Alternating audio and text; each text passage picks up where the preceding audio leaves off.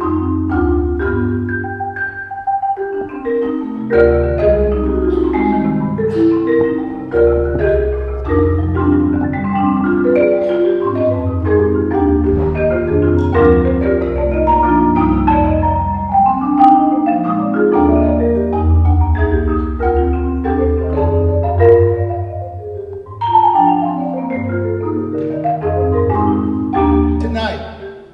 we want to celebrate the talents of our musical students and faculty.